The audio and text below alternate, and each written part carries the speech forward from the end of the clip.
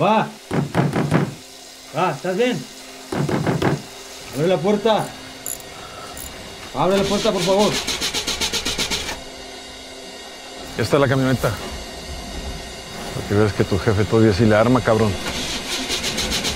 ¿Y ahora qué o qué? Pues no sé. Se supone que debería tomármela tranquila.